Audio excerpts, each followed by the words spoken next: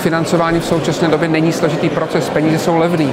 Čili pokud, pokud si ten člověk myslí, že ten, že ten projekt nebo ten nápad je škálovatelný, že opravdu má vyzkoušený, že je potřeba, že opravdu někdo ho bude chtít, a že, má, že vše chápe, jak bude vypadat ten, ten, ten finanční model, že se z toho dají vytáhnout peníze, tak s takovým nápadem, když přijde, tak vždycky ty finance sežene. Eh, rozumím lidem, kteří nemají investice na to, aby mohli ten svůj skvělý nápad prostě jako uskutečnit, ale pak musí taky trošku pochopit, že musí získat tu pokoru, projít tím ohněm, udělat jenom něco jednoduchého pro toho daného člověka a získat si tu finanční nezávislost. Pokud tam není biznis, tak se to nestane. Musí to být zajímavý biznis. Musí tam být ten, kdo přijde a přinese peníze.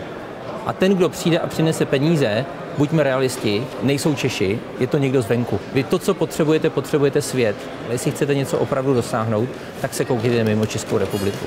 Takže úplně zjednodušeně řečeno, pokud ten provozní hospodářský výsledek bude stačit aspoň na ty úroky, pak já doporučuji firmám, běžte si říct o bankovní peníze v přiměřené výši, protože si uvědomme, že financovat inovace je velmi riziková záležitost a ta firma se v určité fázi, pokud si to nepodaří, stane rukojmím bank a buď o ten projekt přijde, nebo dokonce přijde o nějaké prostě um, záruční instrumenty. Uvědomme si, že jsou v zásadě tři úrovně. V prvních úrovni jsou v zás, v vašimi zákazníky vaši kolegové, ti, kteří to prodáváte případně nadřízení. V druhé úrovni to jsou venture kapitalisté, business angels, případně některé fondy, které vám dají peníze. Až ve třetí v zásadě fázi jde o konečného zákazníka a uživatele. Problém venture fondů a venture investorů je stále u nás v tom, že oni chtějí poměrně vysoké zhodnocení, čemuž rozumím, 25, 30, 35% ale projekty, které se vybírají, chtějí tak zvaně jisté. No to samo o sobě prostě není možné. Proto taky u nás venture kapitálové fondy hrají pralesní ligu.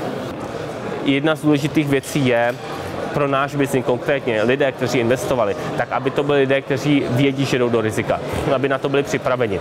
Ano, a byli ochotní ten kapitál, který do toho rizika, aby brali, jako že je potenciálně ztracen aby neřešili to, že se prodělá 20-30%. To, by, to, je jinak, eh, to je bohužel eh, velký problém a v tomto smyslu i z vlastní zkušenosti mohu poradit, eh, dobře si prověřit toho investora, nejen se ho zeptat, jestli, protože každý odkyve to, jo, že může prodělat, ale skutečně mu po, jako přesvědčil to, že může prodělat opravdu hodně, jestli do toho jde.